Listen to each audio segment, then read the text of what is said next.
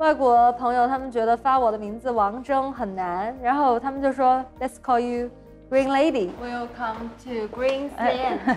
啊，你们好。Wow, you have such an interesting sticker map. oh, it's not a sticker map, it's a real postcard. Wow, you have all those places. No, I have quite a lot of foreign friends and my colleagues. They're traveling around the world, so they will sending me the postcards. In my opinion, diplomacy is also like making friends.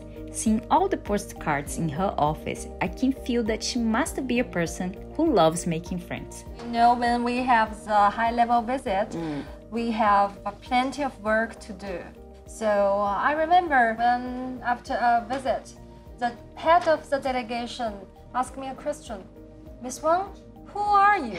when I arrived at Chengdu, you present me flowers. After that, I saw you working with the security staff and uh, you're hosting the welcome dinner. You are the protocol officer. So who you are? You have so many different roles. That's a lot of responsibilities.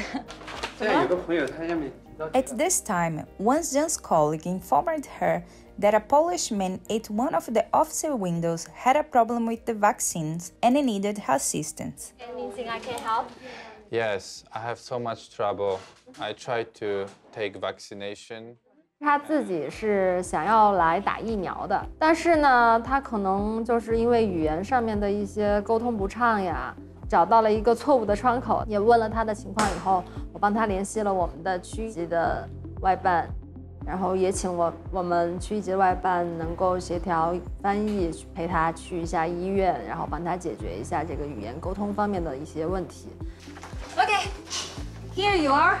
There's the contact, her phone number, and the address of the hospital. And don't forget 9 a.m. Thank you so much. You're welcome. Our office is always welcome you. If you have any problem，很多人会好奇，你每天到底是干嘛的呀？他们会以为哇，你的工作是不是很高大上？